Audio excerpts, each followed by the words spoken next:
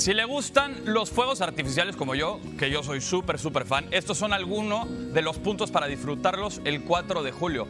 Los de Macy's, neta, son lo más top porque son un clásico y vienen con más de 48 mil cohetes.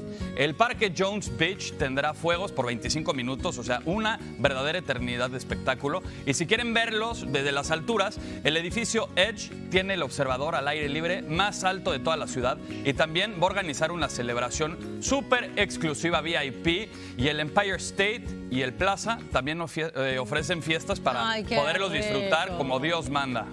Y si no, si usted está lejos de Nueva York, así como nosotros, pues simplemente conéctese a peacock.com. Baje, por favor, la aplicación de Peacock, que está buenísima y puede tener absolutamente todo lo, incluso lo del Mundial, la Liga Premier, Chivas, absolutamente todo eso. O vea NBC a las 8 de la noche, el 4 de julio, que ahí van a estar el show de los fireworks de Macy's. Qué bonito.